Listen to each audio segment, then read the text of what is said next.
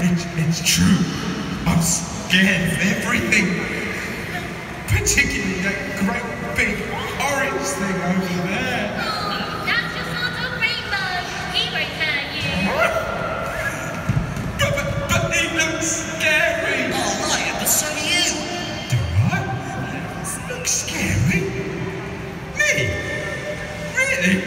Truly? Yes, you do. See, sometimes you need to get to know something before you can judge whether it's scary or not. Things are not always as they seem, Mr. Lion. I feel great.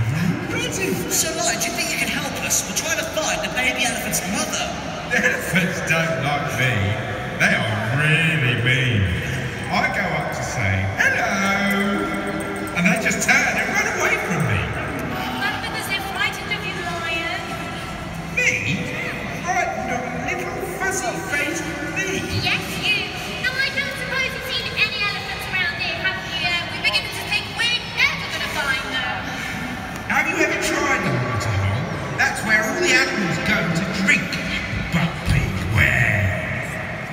ferocious lion living in that water.